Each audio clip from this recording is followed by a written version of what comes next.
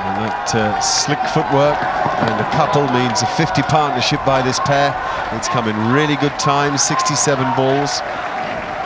And a terrific 50 from Asad Shafiq. We knew he could play. We've seen a bit of him in the last couple of years around the world. And if nothing else, and whatever the end result of the game, this performance today has shown, and last night has shown Australia that they're in a scrap. Uh, Pakistan, after a bad first innings performance with the bat, have always struggled to stay in this game and probably will go on to lose it. I don't think they'll feel bad even if they lose from here. They, they'll they'll get a lot out of this game.